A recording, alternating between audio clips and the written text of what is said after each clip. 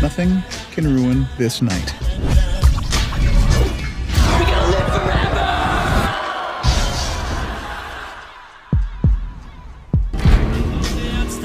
Any one of you could be the murderer.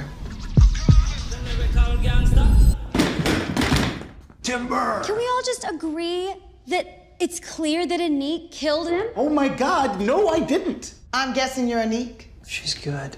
You know, it's a great way to deflect being a murderer is to accuse everybody else of murder. I'm with child. That makes sense. You kill someone and birth a new one in. The number stays the same. Hit it!